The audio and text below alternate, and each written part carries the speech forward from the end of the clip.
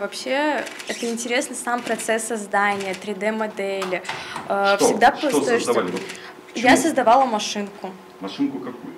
Просто машинку Модель на конкурсе, автомобиля. модель автомобиля, и потом, а, точнее, каждые детали отдельно, их распечатал 3D принтер. Это было очень интересно. Дети 21 века прогрессивные, им уже не интересно просто сидеть за партой и изучать теорию. Современные школьники в восторге от практических работ, и сейчас все возможности для этого есть. Эти ученики 64-й школы уже знакомы с 3D-моделированием и проектированием. В новом учебном году это обучение перейдет на новый качественный уровень. Иркутская школа стала лауреатом конкурса на создание центра Центра компетенций «Мультилаб Плюс». Всего на конкурс было подано 33 заявки из Иркутска, Дивногорска и Красноярска, из которых жюри выбрало трех победителей. Когда я услышала о том, что мы стали победителями, ну, вы знаете, мечты должны сбываться. Поэтому я хочу выразить огромную благодарность а, прежде всего Олегу Владимировичу Дерипаски за то, что он заботится о будущем наших детей, думает о том, каким будет это будущее.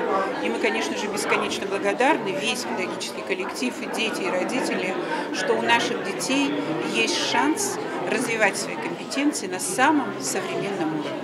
Что же такое мультилаб? Уникальное образовательное пространство, созданное на базе учебного заведения. Концептуальная площадка с современным дизайном и эргономичной планировкой, оснащенная всем необходимым оборудованием для изучения новых технологий, робототехники, электроники, 3D-моделирования, видеопроизводства, программирования, soft skills и других. Специально разработанная для проекта мебель позволит создавать различные варианты рабочего пространства, групповые и индивидуальные. Кроме того, для качественной работы мультилаба подготовят и преподавателей. Создать этот образовательный проект удалось благодаря основателю основателю N Group Олегу Дерипаске. 64-й школы от компании передали сертификат на 14,5 миллионов рублей для организации площадки. Это новый проект N Plus, взаимодействие со школами, э, направленный на создание центров развития компетенций.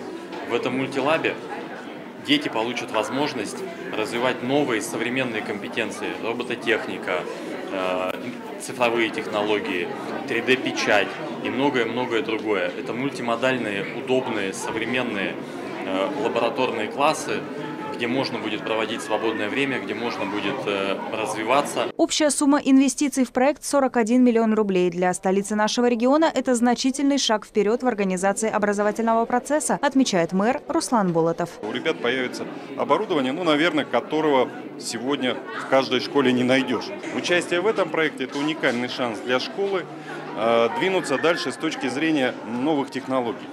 Не только в образовании, но и то, что можно делать непосредственно сегодня самими учащимися. Ребята у нас уникальные. Откроют мультилаб Плюс к началу учебного года, и уже с 1 сентября дети, их родители преподаватели смогут заниматься в этом Центре развития компетенций. Мадина Халикова, Юрий Рябчиков. Новости сейчас.